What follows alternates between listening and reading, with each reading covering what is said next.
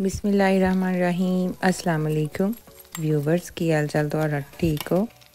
इस महँगाई के दौर में चिकन ख़रीदना भी मुश्किल हो गया है तो आज हम थोड़े से चिकन और थोड़े से आलू से बहुत ही क्रिस्पी और मज़ेदार डोनट्स तैयार करेंगे।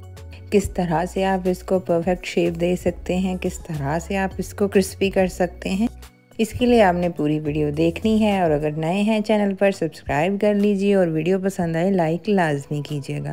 बॉयल पोटैटोज़ मैंने लिए हैं, यहाँ पे चार मीडियम साइज़ के। इस, इनका तकरीबन साइज़ कोई होगा 400 ग्राम के करीब।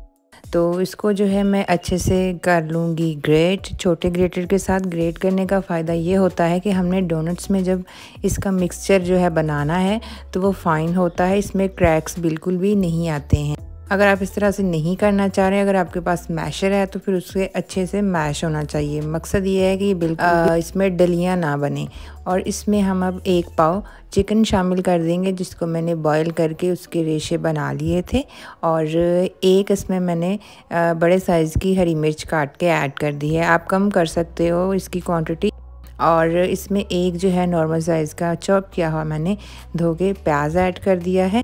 और प्याज बहुत लंबा नहीं होना चाहिए, वरना ये बाहर को निकलना स्टार्ट हो जाएगा।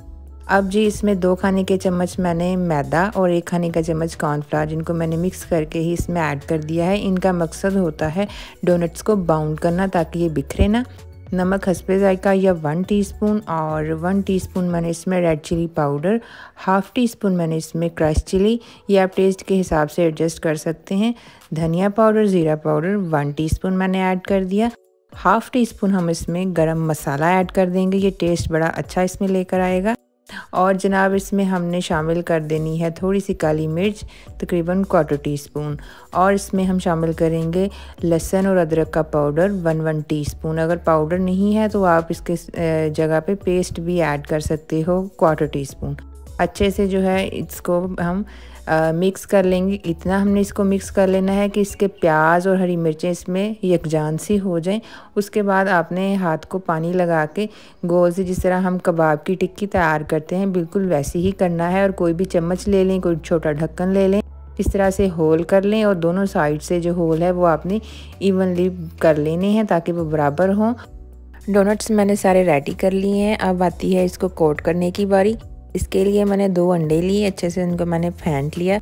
इनको फेंटा लगाने के बाद हमने लेने हैं ब्रेड क्रम्स मैंने बाज़ार वाले लिए थे, आप घर पे जो ब्रेड पड़ी होती है, उसको भी आप चूरा बनाकर ऐड कर सकते हो, इसके लिए इसको कोट कर सकते हो। पहले हमने इसको अंडे में डिप करना है अच्छे से, उसके बाद हमने इसको ब्रेड क्रम्स लगाने हैं। ब्रेड क्रम्स लगाते वक्त हाथ आपके बिल्कुल ड्राई होने चाहिए, ताकि जो ब्रेड क्रम्स हैं वो गीले ना हों। और एहतियात से आपने लगाना है साइड्स पे भी दोनों तरफ़ भी।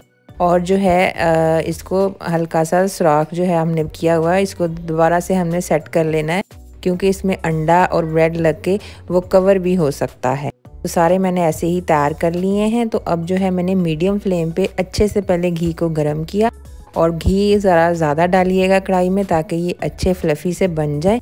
और इसको मैंने तकरीबन पाँच से छः मिनट एहतियात के साथ फ्राई किया।